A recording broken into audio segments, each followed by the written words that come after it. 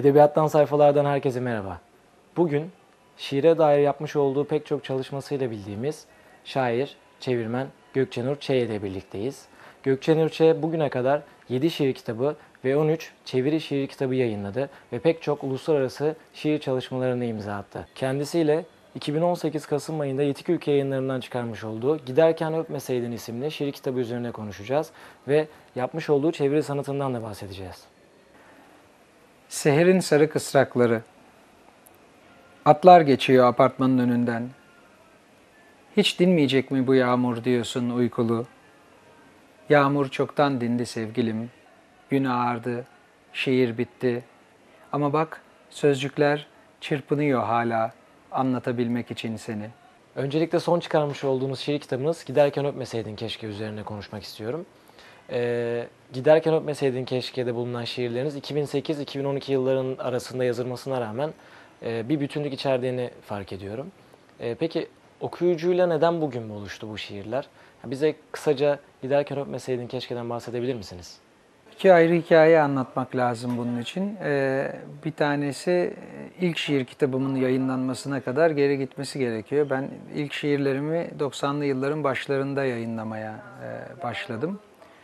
Ama ilk kitabımın yayınlanışı 2006 yılı. E, çünkü e, birkaç talihsiz e, olaydan sonra e, kitabın yayınlanmasıyla ilgili e, o zamanki ustalarımızdan da e, dinlediklerimin neticesinde ilk dosyamı hiçbir yere göndermemeye karar vermiştim. O zaman e, şairin yayınlanma talebinin şairle yayın evi arasındaki ilişkiyi bozduğunu düşünüyordum. Yani bir yere gidip benim kitabımı yayınlamanızı istiyorum dediğimiz andan itibaren aslında o yayın evinin yapacağı şeylere razı olmuş oluyoruz.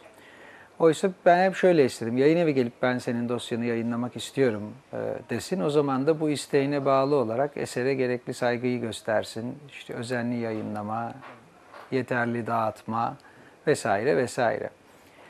E, bu da tabii benim ilk kitabımın yayınlanmasını çok geciktirdi. Böyle olunca kitabım yayınlandığı zaman bile elimde yayınlanmaya hazır olmak üzere birkaç dosya daha vardı.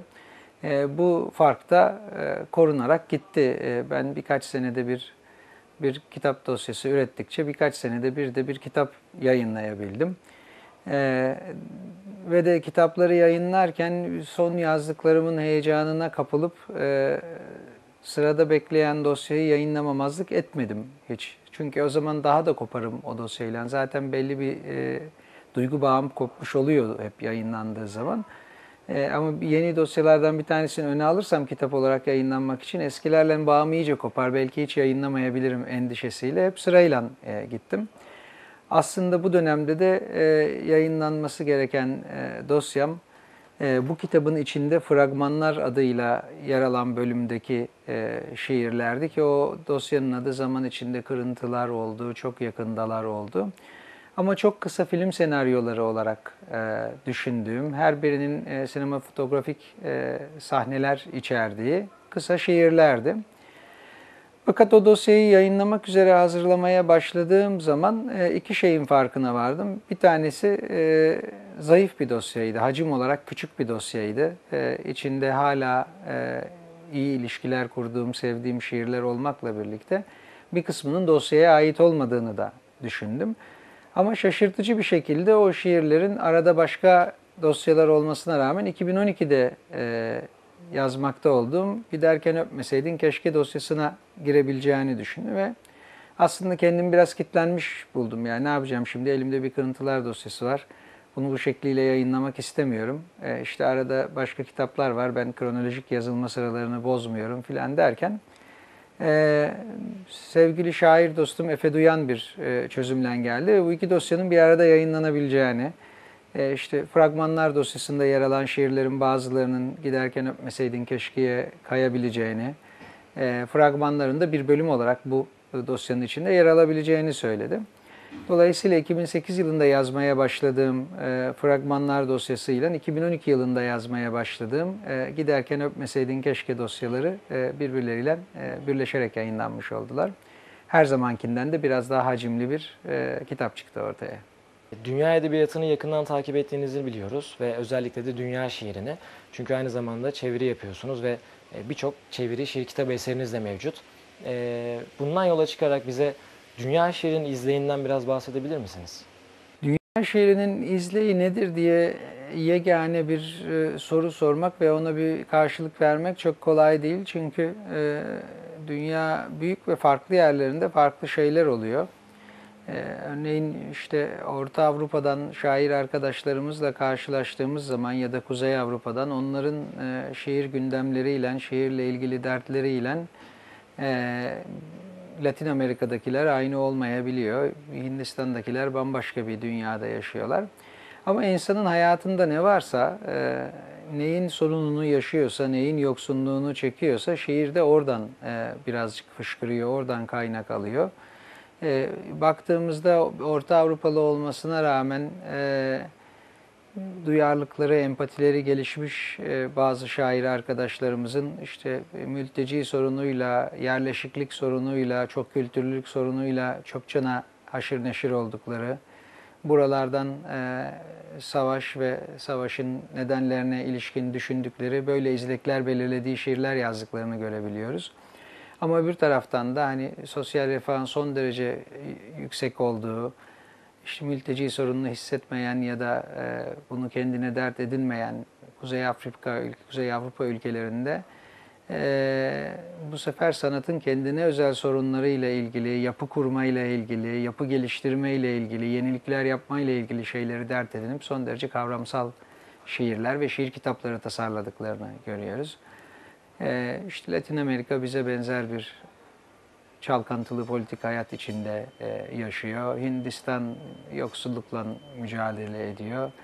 Başka yerlerde başka şeyler var. Onun için insan ne yaşıyorsa, nerede ne yaşıyorsa şiirin izleyi de biraz öyle e, oluyor. E, bizim için önemli olan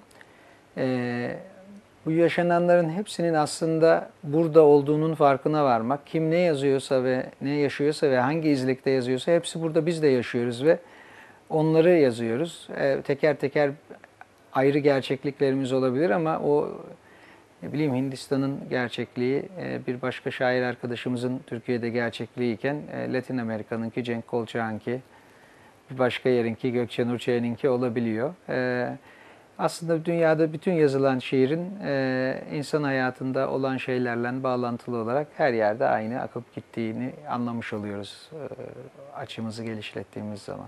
Peki aslında birçok çeviri e, kitabı yer alıyor ve e, bu kalabalığın içerisinde okuru düşünerekten bir soru sormak istiyorum. Okur için kıstas ne olmalıdır? Ee, çok basitçesi yayın evidir aslında. Bir yayın evinin yayın çizgisini algılar okur ve e, önceki kitaplarından aldığı keyif, editörün yapmış olduğu seçimler, hangi şairin şiirlerini yayınlayacağına ilişkin, hangi çevirmenlerle çalıştığına ilişkin, çevirmenlerden aldığı çevirileri kabul edip etme işine, hangi düzeyde asgari kabul ettiğine ilişkin seçimleri editörün o yayın evinin çizgisini belirliyor ve okurlar da kendi kendilerine diyebiliyorlar ki ya bu yayın evinden yayınlandıysa benim seveceğim bir şeydir. En temelde e, böyle bir şey var. Ama bunun ötesinde e, şiir çevirisi okuduğumuz zaman aslında kötü çeviri okuduğumuz zaman bile bize kalan bir şey var. Yani iyi bir şiir okuru okuduğu çevirinin kötü bir çeviri olduğunu algılar. Ama buna rağmen o şiirin orijinalinin ne kadar iyi olduğunu da algılar. Ee, dolayısıyla e, çevirinin kötü olması her zaman e, orijinal şiirin algılanmasının önünde olmayabilir. E, Nerudo'nun çok kötü çevrilmiş bir şiirini okurken bile biz Nerudo'nun sesini ve arkasında yatan iyi şiiri duyup görebiliriz. E, iyi şiir okurları olarak. Onun için e, ben çeviri okumanın her zaman önemli olduğunu düşünüyorum. Elbette sevdiğimiz, çevirilerini tercih ettiğimiz çevirmenler, yayın evleri olacaktır. Yine de zaten o kadar az ki e, bir şiirin kendi coğrafyasında yetişip e, temsil kabiliyeti kazanıp e, o kazandığı temsil kabiliyetiyle diğer ülkelerdeki çevirmenler tarafından farkına varılması, sonra işte farkına varılan çokçana eser içinden seçil, çevrilmek üzere seçilmesi ve çevrilen eserler içinden yayınlanma şansını bulması o kadar küçük bir şans ve o kadar azı yayınlanabiliyor ki e, şiirlerin. E, çevrilmiş her şeyi okusak hala çok küçük bir fikrimiz oluyor dünyada yazılan şiirle ilgili. Bize bu dönemdeki Türkiye şiirinden biraz bahsedebilir misiniz? Nereye doğru evriliyor ve ne değişimler geçiriyor? Ee, şu anki şiir derken e, içinde yaşarken aslında tanımlamak biraz zor olur. Hani bir haritaya çok yakından baktığınız zaman her şey bulanır. Ee, bana hani gençlik şiiri hakkında ne düşünüyorsunuz derlerdi bir zamanlar. Derdim ki bana genç şair diyorsanız ben çok bir şey söyleyemem. Hani zaten içindeyim nasıl bir şey söyleyeyim görmüyorum bu kadar yakından e, ne olup ne bittiğini. Ama e, özellikle dergi vesilesiyle biraz daha e, farklı bir açıdan bakıp bir şeyler söyleyebilme şansım olduğunu düşünüyorum şu noktada. Ee, Türkiye'de şiirin değişimi genellikle 10 yıllık periyotlarla incelenir. İşte 60'lar denir, 40'lar denir, 50'ler denir. Arada işte adına ikinci yeni desek de bu 10 yıl bir kolaycılıktan ibaret değil aslında. İşte darbeler, büyük siyasi değişimler, dünyada olan değişimler var bunları belirleyen. Ee, ve 80 darbesinin arkasından e, işte Türkiye'de çok belirleyici olan bir 80 kuşağı şiir hareketi vardı. 80 kuşağı şiir hareketini e, çıkışı itibariyle toplumcu e, ve politik 40 kuşağı şiirinin arkasından gelen ikinci yeni kuşağına benzetebiliriz. O da bir istibdat baskı döneminin arkasından gelmişti. E, çarpışarak geri çekilen bir şiir derim ben ikinci yeni için. 80 kuşağı içinde e, ne kadar çarpıştı, e, ne kadar çarpışma şansı olduğu tartışılır tabii ama gene benzer ifadeler kullanmak mümkündür.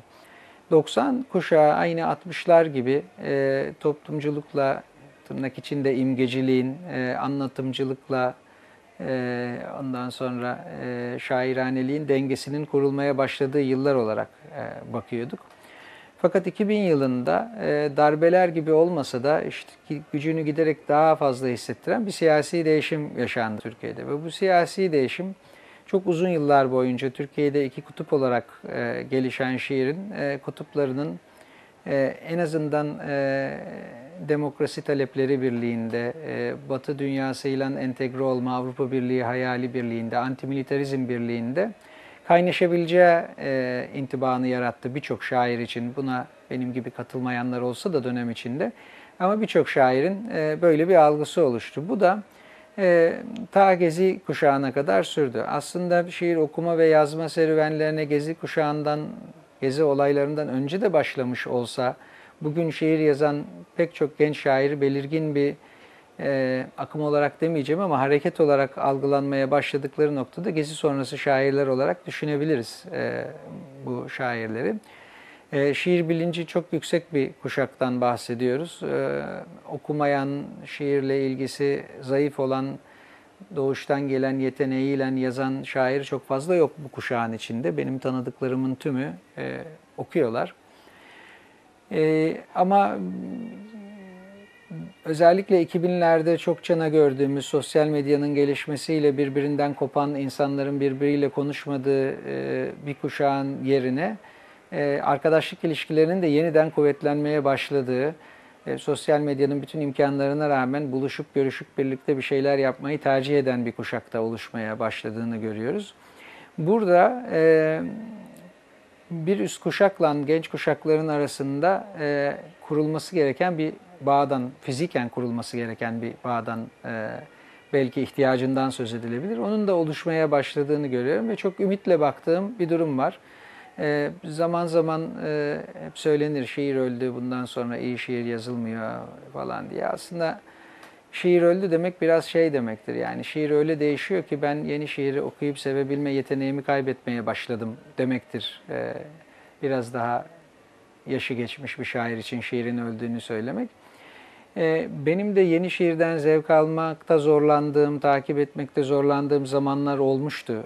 Ama e, özellikle bu e, benim tırnak içinde gezi sonrası dönemi dediğim bugün aktif olarak şiir yazan, edebiyat ortamında görünen e, genç şair arkadaşlarım için gayet keyif alarak okuyabildiğim, severek okuyabildiğim ve severek şiirler okumaya devam edeceğim ümidimi de kuvvetlendiren bir şiir ortamı var.